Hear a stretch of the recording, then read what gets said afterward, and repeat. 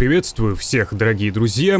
Рад вас всех видеть, с вами снова Крюга ТВ, и сегодня мы поговорим о второй части первоапрельского ивента, которая, на мой взгляд, является более первоапрельской, чем тест-механик на войне 2077, а именно о чудесных виражах, ну или, я думаю, что вы сами понимаете, к чему это отсылка. По 5 апреля вы еще можете сыграть в этот режим и получить, на мой взгляд, много удовольствия. А, мне понравилось, и я рекомендую вам попробовать. А что это такое, сейчас я вкратце расскажу. Чудесные виражи, по сути, это очень похожий ивент на пони. То есть, для нас есть перерисованная карта в другой стилистике. У нас есть другие придуманные, скажем так, самолеты, прикольная стилистика самого ивента.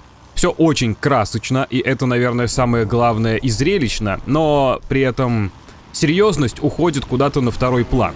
И в данном случае это на самом деле даже неплохо, потому что есть классные звуки, классная графика, Месилова, поскольку все происходит в аркадных воздушных боях, но с некоторыми изменениями. Именно поэтому события вынесли в отдельный режим, полагаю, а не добавили в обычную аркаду. Поскольку самолеты здесь свои уникальные, да, это опять же какие-то, я так понимаю, переработанные модельки, которые уже есть, но а, например, перезарядка пулеметов там в 3 секунды, вряд ли это то же самое, что и в обычной аркаде.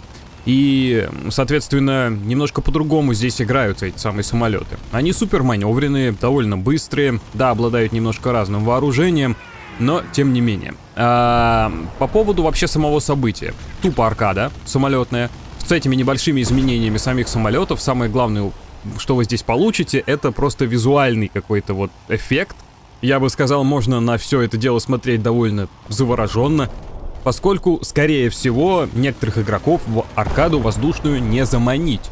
А вот на ивенте у вас нет выбора, и после того, как вы катаетесь в какие-нибудь танковые реалистичные бои, где все так долго, скучно, нудно, вот данный режим становится глотком свежего воздуха. То есть в теории вы, конечно, можете зайти в обычную самолетную аркаду, но опять же, там все-таки немножко иначе. Здесь э, практически бесконечное вооружение, яркие краски. Причем э, самое главное, что и карта сделана так, чтобы вам все время приходилось вертеться около этих летающих островов. Тоже очень здорово, поскольку иногда случаются такие прям погони в островах. Выглядит супер эффектно.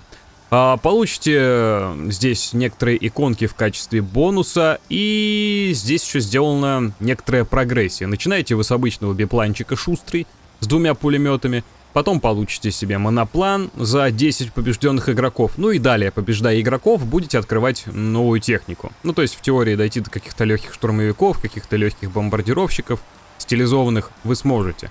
И на самом деле, я думаю, что проведя несколько часов в этой игре, вы все равно уже подкрываете что-нибудь, насладитесь этим визуально, и опять же вас, скорее всего, отпустят. А мне было интересно полетать до момента открытия где-то шершня. Дальше уже вопрос, наверное, только если вам нужно открыть какую-то конкретную модельку, типа красного гуся или вон хитрой утки вообще, где нужно сбить 250 игроков, это займет у вас все-таки больше времени. Мой вердикт, событие офигенное. На 1 апреля оно... Мне особенно понравилась его презентация и вот эти вот иконки.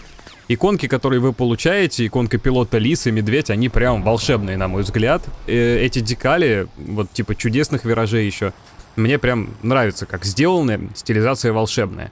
И ярко, красочно, окей. Я сто раз это повторил, но рекомендую всем попробовать. Во вкладке «События» найдете данный режим боев.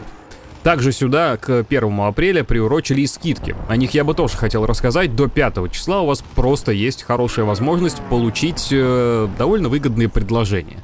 Но тут буквально в двух словах. Во-первых, э, по моей ссылке в описании вы сможете получить еще и дополнительно мою декаль в этой игре. Тот, кто ее не видел, тот в видео, наверное, может заметить. Она обычно нанесена на многие мои танки. И, собственно, здесь два больших набора. Тяжелая броня и комплект ультра. Ну, для пилотов и для танкистов. С 50% скидкой. А для танкистов это Т-34, это экранированный КВ-1Э, что очень важно, офигенный танк. Это немецкий SD КФЦ 140-1, Т-26Э еще, потом э, Panzer SFL, это разведчик на базе второго пазика, по-моему, э, сделанный второго ранга, короче, прикольная такая самоходка. И еще получите Panzer 470А. Мне он не особо зашел, он такой просто обычный. Самое главное здесь, что вы получаете помимо всей этой техники, в особенности, среди которой есть интересный КВ-1Э, кучу голды и кучу премиум аккаунта. И вот это, наверное, самое главное, поскольку с такой скидкой это действительно может быть очень выгодно.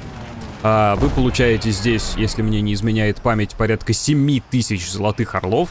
Это мы говорим сейчас про танковый набор. И что-то около двух месяцев према, там, может, полутора месяцев. Это серьезно.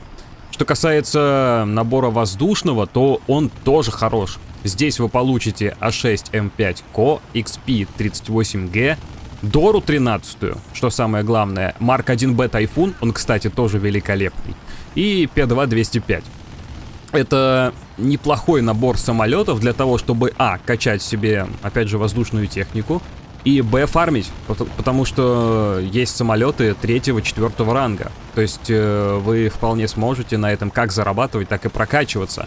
И по итогу получите еще дополнительно к этому приличный запас голды, там порядка шести с половиной тысяч голды, и прямо опять же месяца полтора. В общем, какой бы набор из этих вы не выбрали, я думаю, это приличное вложение в игру, э, с точки зрения вообще универсальности. И премиум аккаунт, и голда, и техника, особенно, например, э, самолеты. Если у вас ничего особо не прокачано и не на чем фармить, то это будет неплохим вариантом что-то из этого вам обязательно будет по душе, и на этом вы сможете неплохо зарабатывать. Ну, а на этом я на сегодня заканчиваю видео. 1 апреля в этот раз удалось. Я действительно прям рад. Хорошие режимы, на них э, можно потратить все эти как раз-таки там 3-5 дней. Может быть, потом они вернутся как и пользовательские миссии, чтобы вспомнить было, возможно. Ну а на этом на сегодня все. Увидимся в следующих видео. Всем удачи и пока.